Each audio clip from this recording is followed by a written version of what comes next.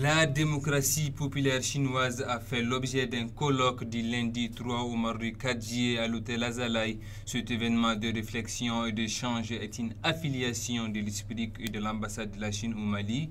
Il repose sur le thème La démocratie populaire intégrale de la Chine, un modèle gagnant. Quelle inspiration pour l'Afrique la cérémonie d'ouverture s'est déroulée en présence du ministre des Affaires étrangères et de la coopération internationale Abdoulaye Diop, de l'ambassadeur chinois au Mali M. Shen Jiang, du directeur de l'Esprit Mohamed Gakou et plusieurs autres membres du gouvernement, dont le représentant du nouveau ministre de l'Éducation et de l'Enseignement supérieur Yacouba Kebe.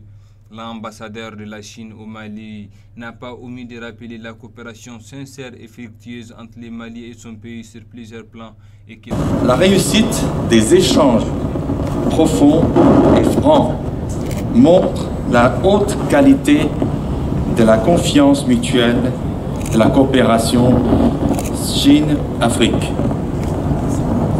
Cette année marque le dixième anniversaire de la mise en œuvre de la mise en avant les principes de sincérité, de résultats efficaces, d'amitié et de bonne foi.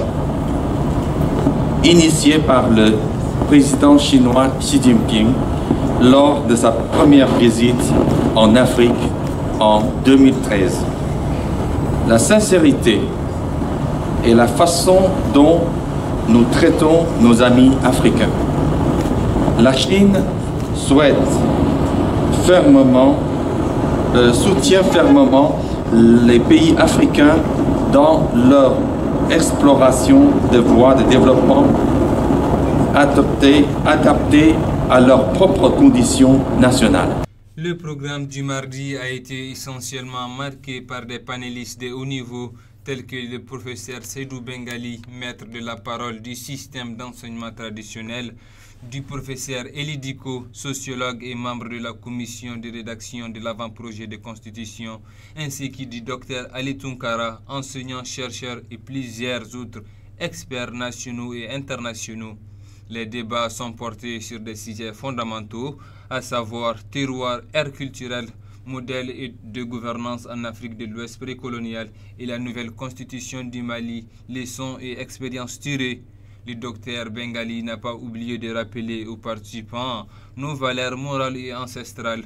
Ce fut une aubaine pour les participants de poser des questions à l'endroit des autres. La et le Mali se retrouvent, si on parle de démocratie intégrale, nous nous retrouvons à un niveau comme il y a une communalité entre nous, le peuple.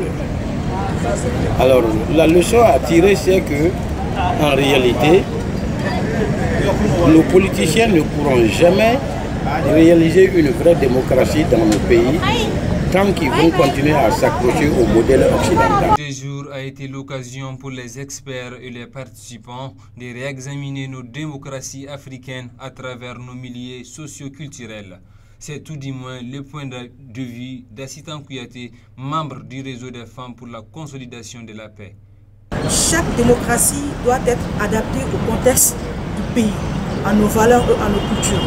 Donc, sans oublier nos valeurs et nos cultures, nous pourrons inculquer une démocratie participative chacun de nous va s'y trouver dedans. C'est le directeur de l'Esprit qui a donné les mots de fin en remerciant les experts nationaux et internationaux pour leur disponibilité et leur accompagnement avant de procéder à une remise symbolique des attestations à quelques membres du réseau des femmes, ministres et parlementaires par les officiels.